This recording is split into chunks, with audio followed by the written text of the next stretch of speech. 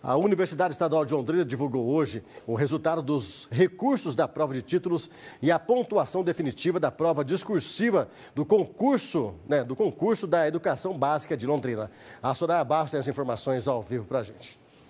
Isso, Cid, desde as 5 horas da tarde estão disponíveis então os resultados definitivos, as pontuações aí definitivas da prova de títulos e também da prova discursiva e os candidatos que entraram com recurso questionando o resultado dessas duas provas também agora poderão acessar as respostas que a COPS deu a esses recursos.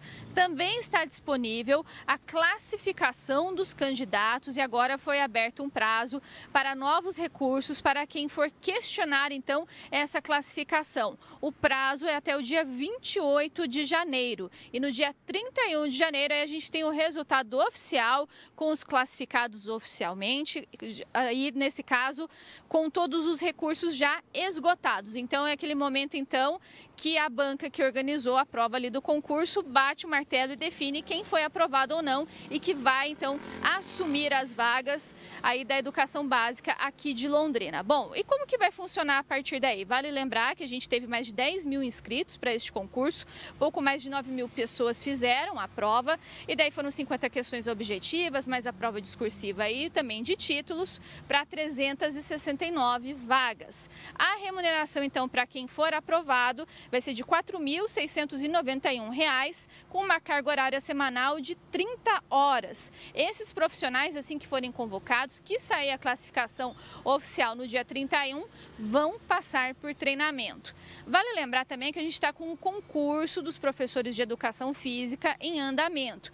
E hoje foi divulgado o gabarito e a partir de amanhã a gente já tem o resultado provisório das notas da prova objetiva e também o edital de convocação daqueles candidatos que se autodeclararam afro-brasileiros.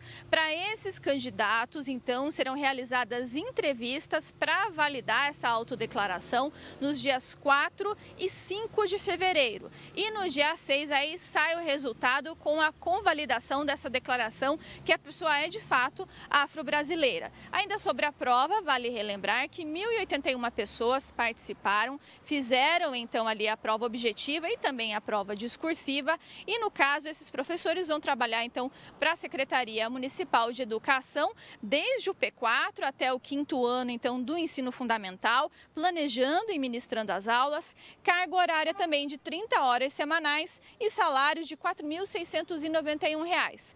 A previsão, a expectativa é que eles já comecem a trabalhar a partir do mês de abril.